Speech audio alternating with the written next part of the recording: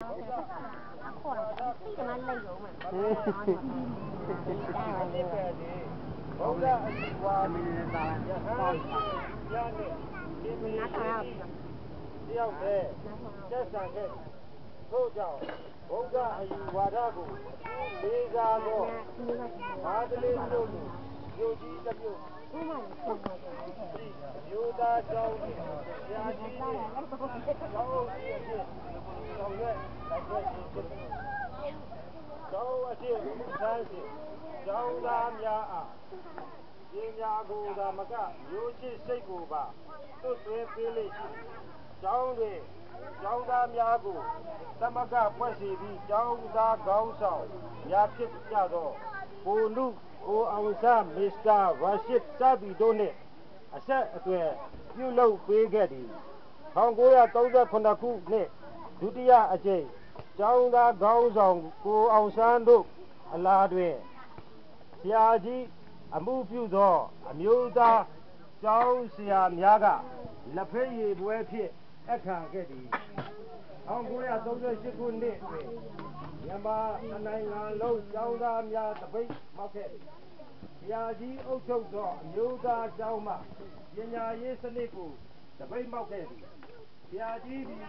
မြန်မာအမျိုးသားများကိုဖြစ်ချင်သူဖြစ်သည့်အတိုင်းမွတ်စလင်ဓမ္မမွတ်စလင်ဟူသောအမည်ကိုစတင်သုံးစွဲခဲ့သည်ယမဲသိမျိုးမွတ်စလင်ဓမ္မမွတ်စလင်ဒီလာဂါမဥက္ကဋ္ဌအဖြစ်မန္တလေးမြို့ကျော်ရ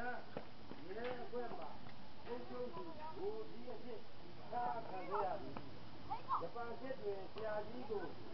အောင်သွင်းအခြေချထားခဲ့ရာဒီဘူထောင်မှမန္တလေးထောင်တို့အပြောင်း၌တပည့်များကအသက်ဆွ၍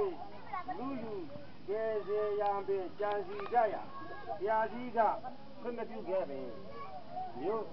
မျိုးချစ်စိတ်ဓာတ်ကိုကျောင်းသားတပည့်များအားအမြဲသွတ်သွေးပေးခဲ့မှုကြောင့်ယခုအခါကျောင်းသားဟောင်း အမြောက်အများသည်စစ်ဘက်မြို့ပြအုပ်ချုပ်ရေးဘက်တို့တွင်တိုင်းပြည်တာဝန်ထမ်းဆောင်လျက်ရှိကြသည်1940ခုနှစ်တွင်စစ်ကြောင်းစစ်ကြောင်းကျောင်းသိခဲ့ရသည်ဆရာကြီးသည်1945ခုနှစ်မှစ၍တည်ထောင်ခဲ့သောမန္တလေးခရိုင်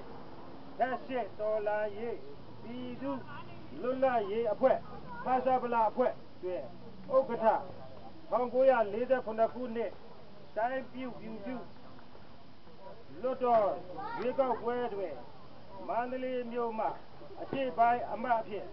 ရွေးချယ်တင်မြှောက်ခံခဲ့ရ၏